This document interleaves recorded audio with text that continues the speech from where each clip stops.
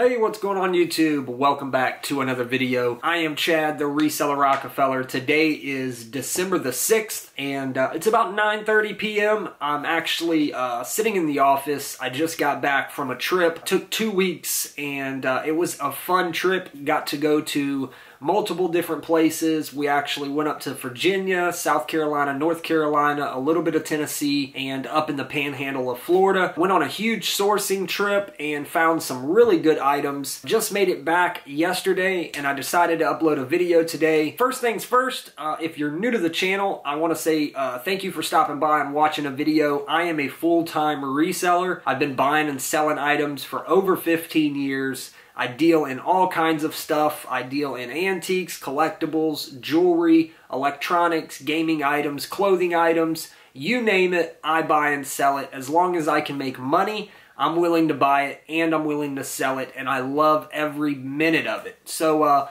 you know, to all of you that are subscribed to the channel, thanks a lot for coming back and watching another video.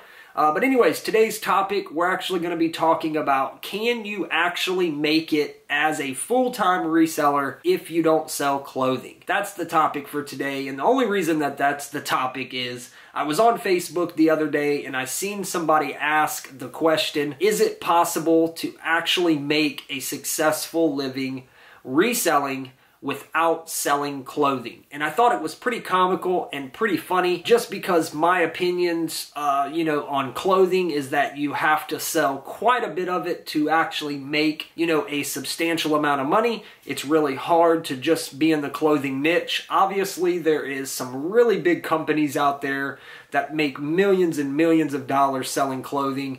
Uh, but for you know anybody that's like a stay-at-home business and you know you're just trying to do this as yourself, maybe you have one employee, maybe you even you even have two employees. It's extremely hard to move that kind of inventory. You're going to have to sell quite a bit of clothing, especially if it's used clothing. It also takes a long time to source the items even though the items are readily available and pretty much at every yard sale, every flea market, every thrift store, and every Goodwill, it still is very hard to do.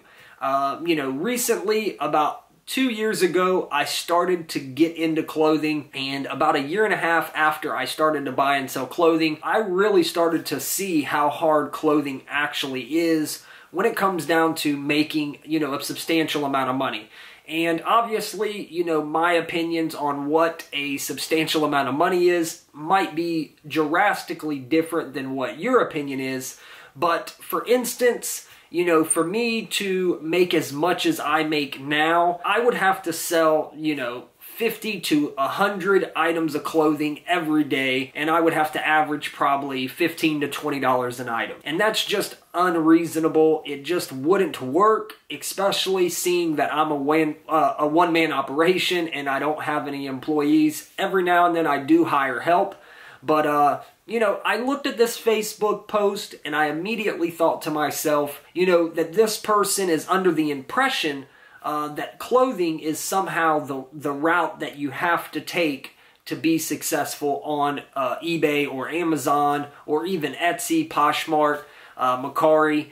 Uh, online reselling in general. Whoever this person was, I didn't, you know, I didn't bookmark her name. I didn't take a screenshot. Uh, but, you know, she is obviously under the impression that, you know, clothing is the go-to source to make money uh, as a reseller. And I think it's the complete opposite.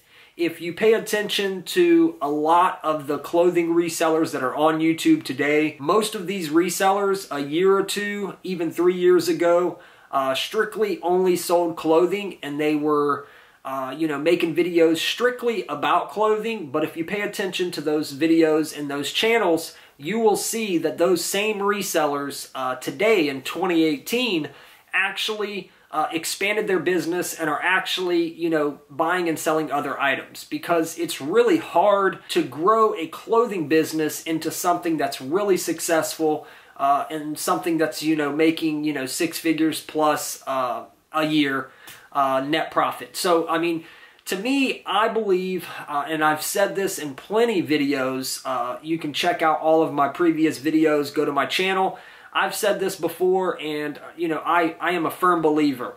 I believe to be, you know, the most success- successful as a reseller, you need to buy and sell, you know, kind of anything and everything. You don't have to, you know, buy absolutely anything and everything, but you need to kind of know a lot about, you know, a little about a lot. I dip and dabble in pretty much anything. You know, I'm constantly learning about new items. I'm constantly buying stuff that I've never purchased before. And that's what keeps me going because I'm constantly building my knowledge and I'm always, you know, involving, I'm always making my business something more than it was the day before. And, uh, you know, I know tons of really successful resellers, and pretty much all of the resellers that I know usually, um, you know, do the same, you know, they have the same system. Uh, you know, they pretty much go out and they buy whatever they can find, and as long as they're making money on the item, it doesn't really matter. And that's where knowledge comes into play, and that's why I'm a firm believer on knowledge is king. You know, as a reseller, when you go to a, a flea market or a thrift store or a garage sale, no matter where you go sourcing, if you have knowledge, you're going to be able to find items. The odds of you being able to find items is going to be increased by the amount of knowledge that you have. If you're stuck within one niche and you go to a garage sale or you go to a thrift store, you're going to have to stay within that niche. So, say it's clothing. If you're at a garage sale, how many clothing items do you find typically at a garage sale? Not that many. Some garage sales might have a couple racks of clothing. They might have a sheet out with a couple hundred pieces. But but when you really think about the majority of the items that you're going to see on any day going out and uh, actually going sourcing, unless you go to a clothing store, uh, you're not really going to stumble upon that much clothing, and definitely not that much clothing that's actually worth buying. Lots of clothing uh, in the used market is is kind of hit or miss. You find good items uh, you know, but most of the stuff is garbage. Most of the stuff isn't worth reselling. So, you know, clothing is one of those niches, though, that I do know some people that are, you know, pretty successful, and it's because they've they've determined that that's the niche that they want to be in and they kind of mastered the niche. You know, I have a really good friend of mine. He's actually in the New Orleans, uh, Louisiana area. He sells nothing but clothing and he's super successful because he, you know, kind of figured out his own path within the clothing niche, and that makes him kind of uh, different than everybody else. He only sells really high end vintage items and uh, like designer brands. He doesn't touch anything that's modern. He has standards, and his entire eBay store, his entire Poshmark store, and Etsy store is full of really, really high vintage clothing and he does very, very good. Last time that we spoke was a few weeks ago, and uh, we were talking about numbers, we were sharing stories, and he had told me something about uh, in the month of July he did just over, I think it was like $340,000. Now that is a total of like three or four different platforms that he sells on, but that is a substantial amount of money per month, even though you're selling on numerous platforms he only has about three or four employees, and you're talking about somebody that goes out and sources all of his items himself. He also buys off of eBay, he also buys uh, from other dealers and other resellers, but you're talking about one person that sources that much inventory. He is really a, uh, you know, he is a badass reseller. Uh, I, I, I, hate to use uh, foul language, but this guy really knows what he's doing. He does have a uh, extremely good eye, and he has learned what it is that he's trying to find and what he's trying to buy. You know, and that's what I've said before in other videos as well. If you decide to go within a niche, for some reason, if you want to be in the electronics niche, then you really need to focus on electronics and you need to become the best and you need to kind of master that niche. I've always said that. I never said that you cannot be successful within one niche. I've always just stated that if you want the odds to be in your favor and you want to grow your business uh, much faster and you want to make more money, then open up your avenues of items. Make sure that you're sourcing uh, anything and everything. Start to you know, learn more about stuff, start to, you know, build your knowledge. And one of the best ways that I believe, uh, I was just talking to a friend of mine last night about this, and that's why it's fresh in my head. One of the best things that I do, honestly, is I go through eBay, I go through and look at the completed listings, and I literally spend uh, quite a bit of time studying you know, different items that recently sold. So if I'm looking at a, you know, a vintage sweatshirt and I see that it it sold for 300, I usually uh, then will open up another uh, browser and I will look for vintage sweatshirts uh, that make, you know, that model or whatever, that brand, and I'll try to figure out why that sweatshirt sold for that much. And then I'll start just learning about all kinds of sweatshirts. What are the best ones to look for? Uh, you know, what are the best brands? And I'll do that with all kinds of items. The other night, I spent literally almost an hour uh, just researching vintage RC cars. I never really understood, you know, why some of these vintage RC cars sell for so much but some of the older ones really do bring good money. And so I really spent a lot of time, you know, investigating why these cars sell for so much. And I also spent a lot of time learning all of the different models, all the different brands, uh, what to look for, what to stay away from.